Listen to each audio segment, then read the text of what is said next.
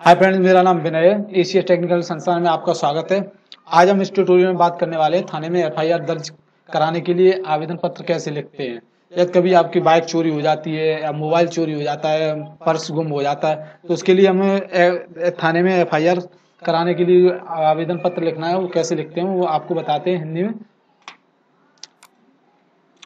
थाने में एफआईआर दर्ज कराने के लिए पत्र application for FIR in police station in Hindi. सेवा में श्रीमान थाना प्रभारी निरीक्षक महोदय। पता, थाने का पुलिस स्टेशन का मेरे मेरे मूल मोबाइल खो जाने के रूप लक्ष्य में। आदरणीय महोदय, यहाँ पे जैसे मोबाइल खो गया, मोबाइल, पर्स, बाइक, जो भी आपकी चोरी हो जाती है, वो विषय में लिख देंगे।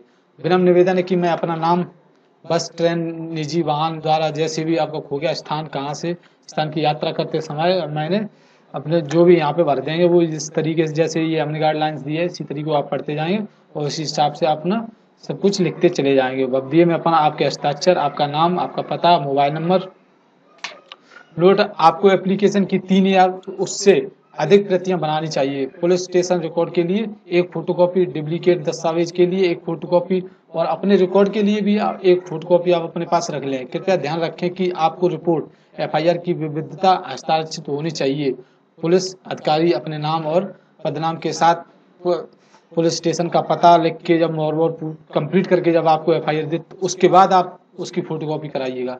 यदि आपको कोई बार बार परेशान कर रहा है और उसको गलत लगता है कि वह आपके साथ कुछ गलत कर सकता है तो आप उपरोक्त आवेदन पत्र को शिकायती पत्र के रूप में भी दे सकते हैं। हम उम्मीद है कि आपकी जानकारी आपके बहुत काम आएगी। यदि आप किसी अन्य आवेदन पत्र संबंधित कोई जानकारी चाहते हैं तो हमें कमेंट बॉक्स में अवश्य बताएँ।